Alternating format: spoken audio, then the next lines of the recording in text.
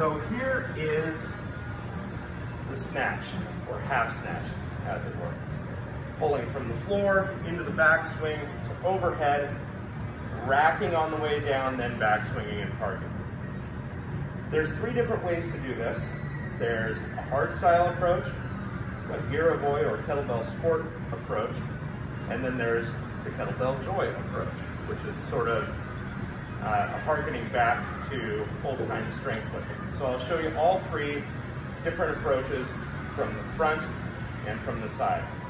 First, we have the hard style snatch, which focuses on maximum tension and speed. I'm gonna backswing without moving my hips.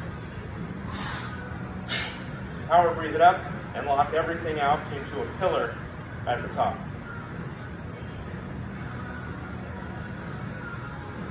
From the side, it's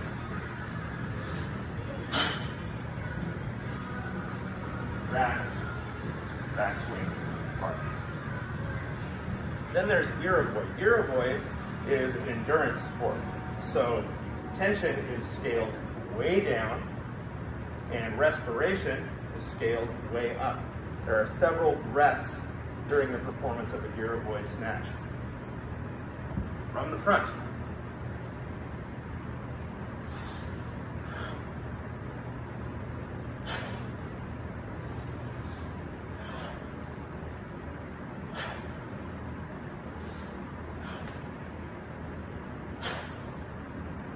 From the side.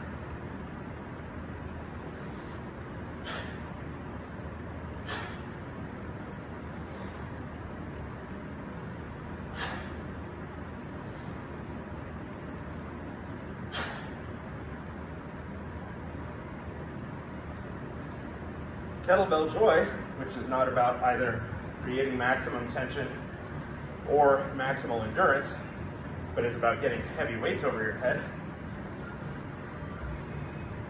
applies some old school principles.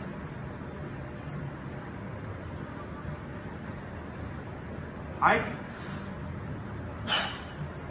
This position should look familiar. It's our windmill position. Recover, rack, backswing and park. I'm to take one breath in, either before I hike or as I hike, that breath is held until the bell is overhead.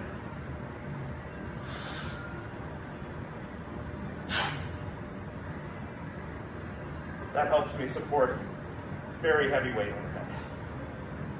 So that is the kettlebell joy version of the snatch. And you can choose from any of those, but I find the Kettlebell Joy uh, programming goes along with the ladder technique.